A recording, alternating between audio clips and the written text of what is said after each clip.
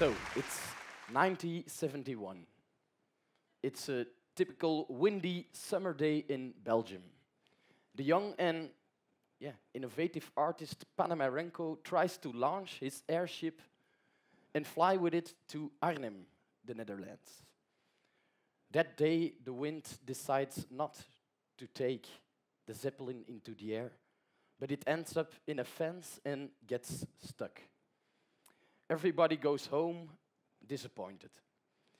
Now, this might seem like a failure, but actually, this action is the beginning of a very peculiar story in the history of art. Panamarenko intended to fly around the world with his aeromodeller and to impress and visit his idol Brigitte Bardot. But it never took off. And he ended up living for more than 30 years in the same old house in Antwerp with his mother. Now, to safeguard the future of his former house and working station, the airbase Biekorfstraat, he donated it to the Museum of Contemporary Art in Antwerp. And from 2007 till 2009, they dismantled the place and found 100 original Panamarenkos. I'm, yeah, telling you 100, but of course that depends on the definition you give to the word original. Many of the objects found in the house were not objects of art in the museological sense of the word. And that's what I want to talk about. When does something becomes a work of art? An example. This giant boot, uh, as big as this, uh, I think, was found in the cellar of his house. Before that, it was only a story. We know that the boot was used before the shoe shop of Panamarenko's mother. And probably it was used as an ashtray too. Um, but we can look at this object as a very early sculpture that reflects the later pop art like sculpture of the artist Panamarenko. This self made pinball machine was also found in the cellar. The artist designed it himself and assembled it together with his father. It was meant to be put into bars and to become a multi-millionaire with it. Uh, we think it never left the house. So these two objects are clearly functional objects. But something has happened.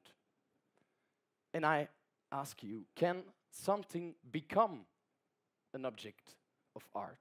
Can something be discovered as an art object? If I was talking to a room full of archaeologists, uh, they would certainly say yes.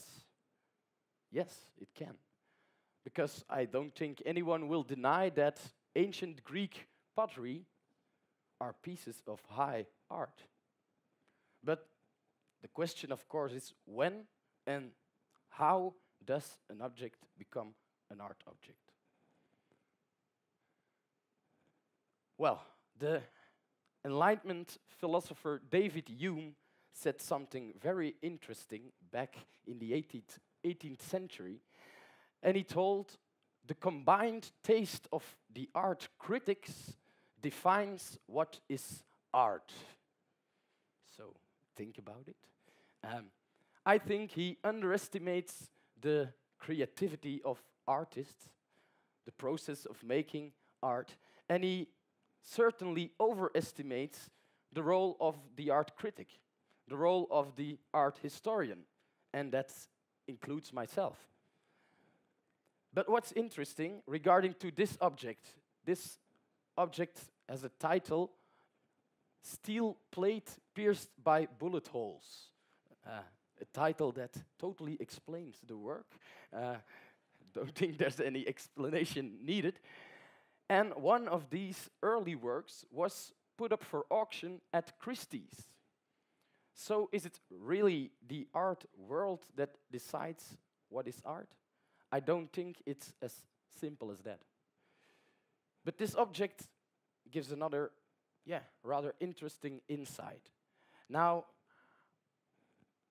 the object is clearly an echo of an action long ago. And that brings us to the postmodern philosopher Jean-François Lyotard, who sees art as a process, art as an action, not as a collection of objects.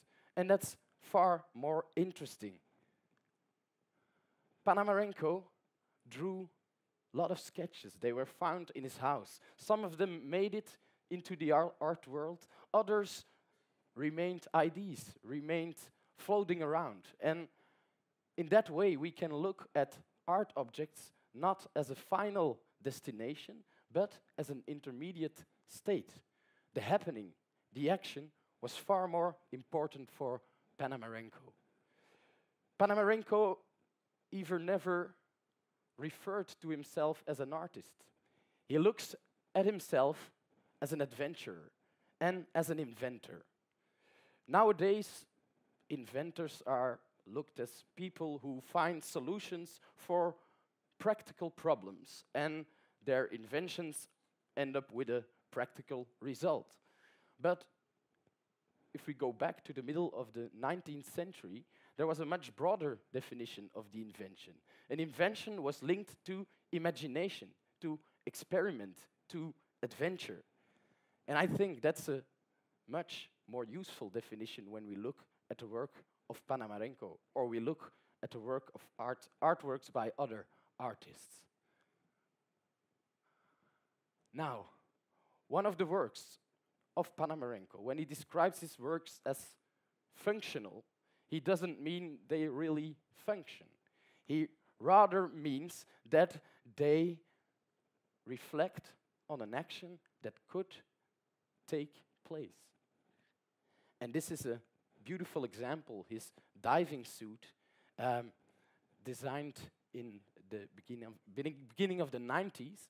And he actually used it, and I'm going to prove it to you with this picture. Here you see the artist uh, at the bottom of the sea reading a book. How beautiful is that? Now, if we take the happening, if we take the action as a starting point, we could wonder if the objects created by artists, the object created by Panamarenko, if they feel at home in a museum. In his former house, they clearly do. And if you're wondering or thinking, maybe it's too far to go to Antwerp, you can land there with your personal helicopter right onto the roof. So don't let distance stop you and welcome. Thank you. Thanks.